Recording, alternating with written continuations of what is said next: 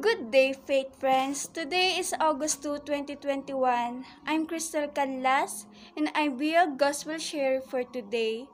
Our gospel for today is according to the book Matthew chapter 14 verse 13 to 21.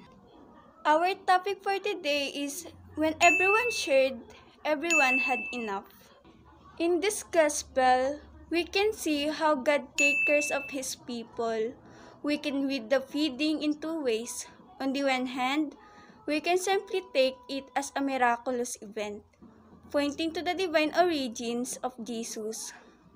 On the other hand, we can see that once the disciples began to share the little food they had with those around, it triggered a similar movement among the crowd, many of whom had actually brought some food with them.